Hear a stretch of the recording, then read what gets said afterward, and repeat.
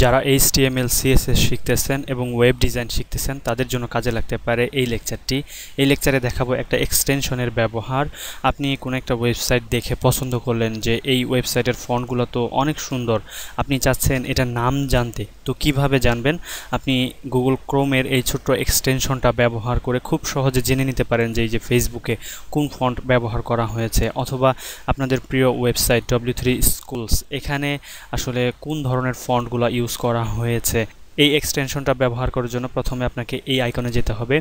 যাওয়ার পরে মোর টুলস এখানে যাবেন, এখানে পাবেন এক্সটেনশনস ক্লিক করেন ক্লিক করার সাথে সাথে নিচের দিকে পাবেন গেট মোর এক্সটেনশনস ক্লিক করার সাথে সাথে আরেকটা ট্যাব ওপেন হবে।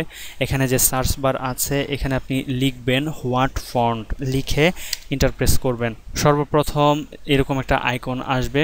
এটা আপনি এখানে জাস্ট অ্যাড টু ক্রোম এটা করে দেবেন। কনফার্ম চাইবে, আমরা অ্যাড এক্সটেনশন দিয়ে দিলাম। এই যে এইখানে এক্সটেনশনটা যুগ হয়ে গিয়েছে। তো এখন কাজ হচ্ছে, এই যে আমরা যে ট্যাবে আমাদের ফেসবুকের পেজটা ওপেন ছিল, এটাকে আমরা একটু রিফ্রেশ করব। রিফ্রেশ না করলে কাজ করবে না। এবার দেখুন, এই এক্সটেনশনটা কীভাবে কাজ করে? আপনি জাস্ট এখানে ক্লিক করুন। ক্লিক করার সাথে সাথে দেখুন, এখন আপনি যে লেখার উপরে নিয়ে যাবেন আপনার মাউজের কার্যরটা সেখানেই দেখাবে যে কোন ফন্টে। এটা হচ্ছে হেলভেটিকা উপরের এই লোগোর উপরে নিয়ে যান। এটাও কিন্তু হেলভেটিকা অনেকে যারা হচ্ছে ওয়েব ডিজাইন করে, এই ধরনের লেখাগুলোকে সাধারণত পিকচার আকারে কনভার্ট করে ইনসার্ট করে। কিন্তু ফেসবুক এটা হচ্ছে সরাসরি টেক্সট আকারে দিয়েছে। আপনি এখানে যদি ক্লিক করেন, দেখবেন হচ্ছে এখানে বিস্তারিত দেখাবে যে কোন ফন্ট কীভাবে কালার কি সাইজ কত সব কিছুই দেখাবে।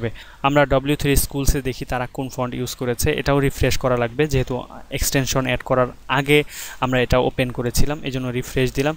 দিয়ে এখানে ক্লিক করতেছি।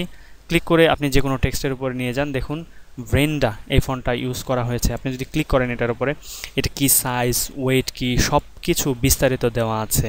তো আশা করি এই এক্সটেনশনটা কাজে লাগবে। যদি আমাদের ভিডিও ভালো লাগে, অবশ্যই একটা লাইক দেবেন। আর আমাদের চ্যানেলে সাবস্ক্রাইব করতে ভুলবেন না।